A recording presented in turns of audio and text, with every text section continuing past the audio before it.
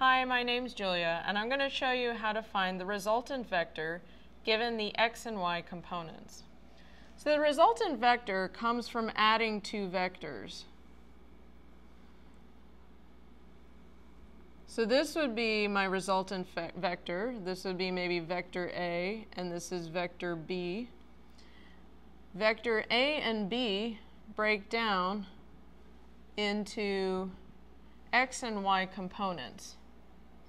So b sub y can be broken down into b sine of,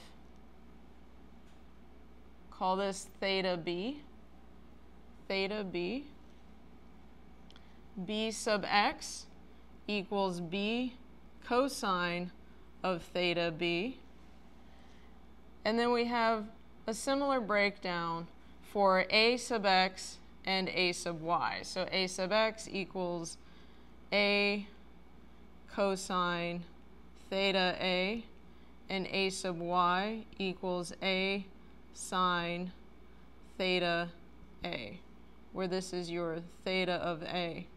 And this is your a sub x, and here's your a sub y. So you use these to get r sub x and r sub y, which would be the components of your resultant vector. So r sub x is a sub x plus b sub x. And r sub y is a sub y plus b sub y.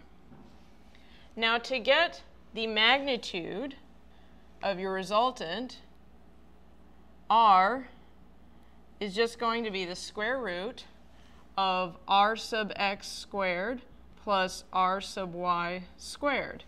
And then to get the angle, this angle here for r, that theta of the resultant is the arctangent